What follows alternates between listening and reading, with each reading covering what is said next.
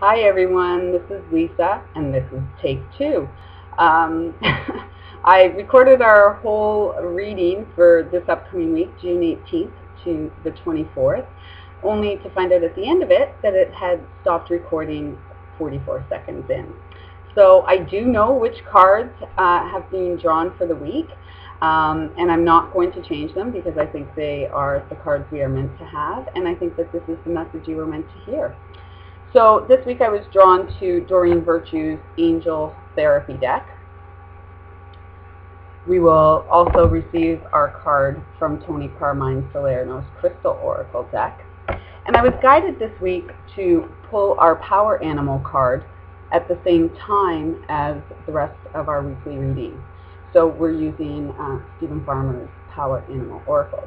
I'm being asked to uh, let you know at this time that for the coming week I have been guided to uh, offer a special on Power Animal um, Oracle card readings for my Facebook page. Uh, and for anybody who's interested in purchasing one. So those readings will be available for the upcoming week. I will post details on my Wisdom of the Heart Facebook page as well as my website, www.lisalyle.com. And those readings will be $5 each. Thank you to everyone who's taken advantage of my five-card intuitive reading um, special that I offered for the past week, which for the low price of $20. Um, some beautiful messages were sent out, and the feedback that I'm receiving is absolutely divine. So thank you so much. I, it's such an honor and a blessing for me to serve. So for the beginning of the week, the card we got was Law of Attraction. This is a very strong message um, for us this week. So it, the card says, relationships and activities that you once enjoyed are now changing as you become more sensitive and aware of energy.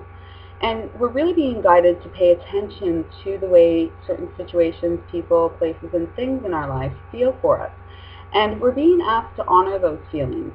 So if there's a particular relationship or situation in your life that's not really resonating with you anymore, doesn't feel comfortable for you, then that is um, your guides and angels' way of letting you know that maybe you've outgrown this relationship, maybe you've outgrown the job you're in, whatever it is, it's just not serving your greatest and highest good anymore. And so there's a real need to let go. There's a real need to work on, with positive affirmations so that you make sure that what you're putting out there to the universe, all of those thoughts that go on in your head, all of your hopes, your dreams, your fears, all of that stuff, um, we're being asked to really let go of fear. Face everything and receive, or face everything and recover. Um, so what I'm hearing is that the more you are able to work with positive affirmations, and they should be a tool that um, is always in your spiritual toolbox, ready for you to pull out anytime you need it.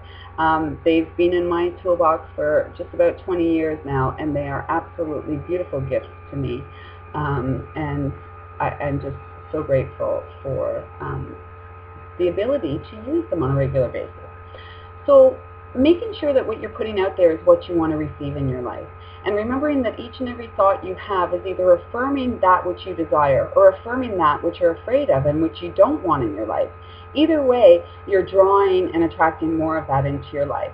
So really being positive, keeping your thoughts positive, your self-talk positive, and manifesting, helping to manifest the life you were born to live and the life you, your, your heart's desire that life of your dreams, it is very possible for each and every one of us.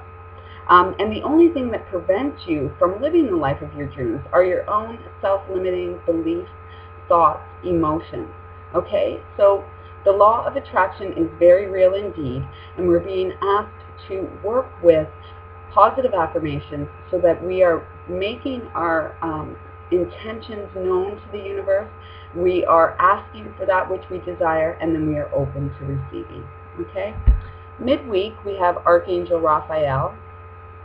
And what he wants you to know is there's a great call right now for some deep soul level healing for everybody on this planet. Um, and it, that includes those of us who are light workers and healers. We need to be constantly vigilant and making sure that we are staying on top of ourselves. Um, because ego is a tricky foe, and ego steps in and uh, makes us believe that what we're putting out there is truly who and what we are, and yet for lots of us, we um, it, it, it's not. It is not authentic.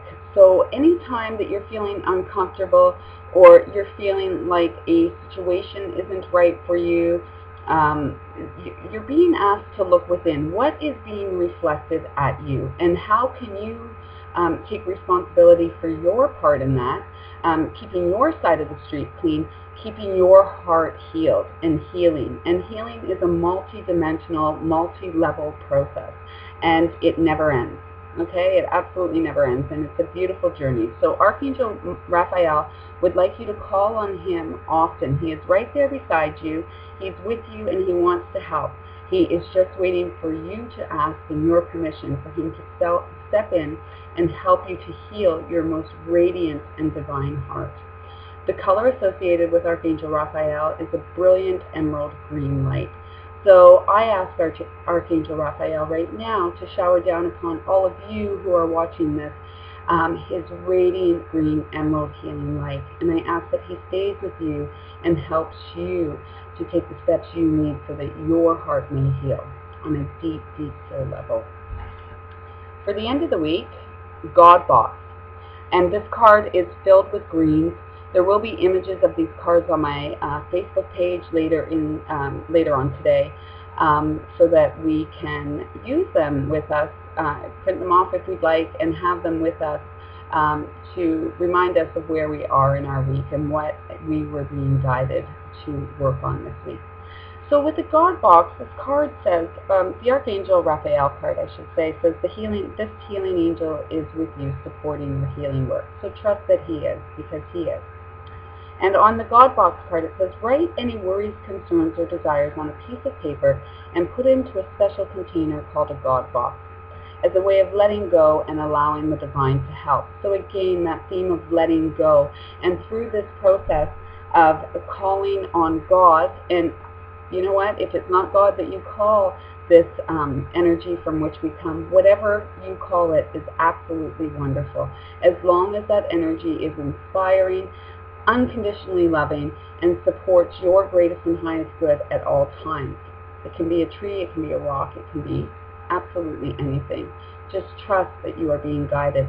And trust that by going through the process of writing down what your fears or your worries are and placing them into this box, by that simple process and that action you have taken, you are actually calling in the um, help of God, the universe, and your angels to resolve that issue. So once you've done that, let it go and trust that it is divinely being taken care of. And remember, timing is always about divine time, not when you want or feel that things should happen.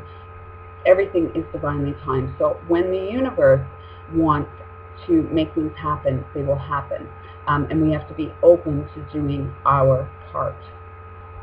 So um, yes, healing, it, it takes effort on our part. And you know, it is an, like I said earlier, it is an, an unending process and it's one that we have to remain on top of. We are responsible for each and everything in our lives. Okay? Our crystal for the week is gold with quartz. Okay? So, um, and I heard that if you don't have a gold and quartz stone, I don't. I do have gold and I do have quartz.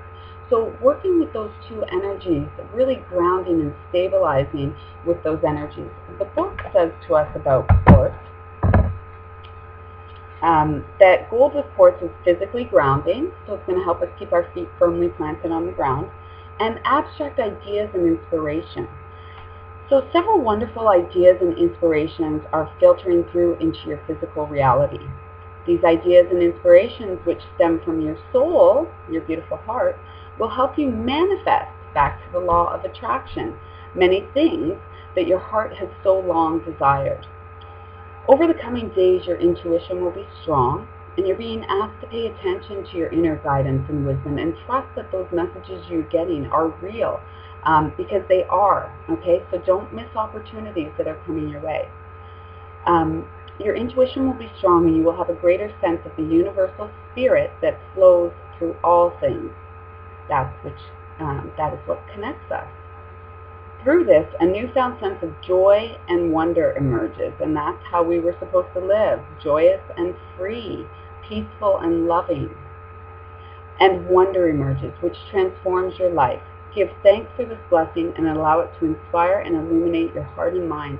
Your ideas and inspirations are divinely guided, so trust them. And that is a big theme this week. Trust and let go. Faith and let go. Take that leap of faith. Now is the time, and you are so, so supported.